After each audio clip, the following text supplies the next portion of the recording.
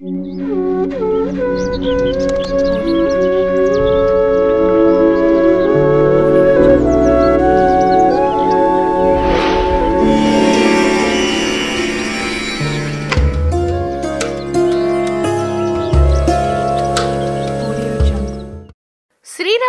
పండుగ వాతావరణం సర్వత్రా నెలకొంది. గ్రామాల్లో పట్టణాల్లో ఇప్పటికే నవరాత్రులు ప్రారంభమైపోయాయి. రామాలయాలకు కూడా కళ్యాణ శోభ ఉట్టిపడుతోంది.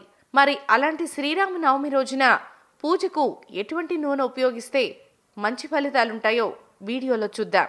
శ్రీరామచంద్రుడు చైత్రశుద్ధ నవమి రోజున పునర్వసు నక్షత్రంలో కర్కాటక లగ్నంలో జన్మించాడు. ఉగాది నుంచి ఆరంభమయ్యే వసంత నవరాత్రుల్లో రామచంద్రుణ్ణి పూజిస్తారు. ఈ తొమ్మిది రోజుల్లో రామాయణ పారాయణం రామకథా గానం విశేషమైన ఫలితాలనిస్తుంది. ఇక నవమి రోజున మధ్యాహ్నం సమయంలో అన్ని క్షేత్రాల్లోనూ స్వామివారి కళ్యాణోత్సవ కార్యక్రమం జరుగుతుంది. శ్రీరామనవమి పూజా మందిరంలో సీతారాముల ప్రతిమలను ఏర్పాటు చేసుకుని ఆరాధించే వాళ్ళు ఎంతోమంది ఉంటారు.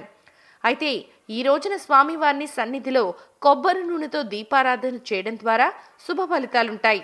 ఎందుకంటే ఆయా పర్వదినాల్లో దీపారాధనకు ఉపయోగించే తైలం కూడా విశేషాన్ని సంతరించుకుని ఉంటుంది. కాబట్టి శ్రీరామనవమి రోజున దీపారాధనకి కొబ్బరి నూనె ఉపయోగించాలని పండితులు సూచిస్తున్నారు. ఈ రోజున పూజా మందిరానికి రెండు వైపులా కొబ్బరి నూనెతో గల దీపపు కుందులుంచి ఐదేసి వత్తుల చొప్పున కుందుల్లో వేసి వెలిగించాలి.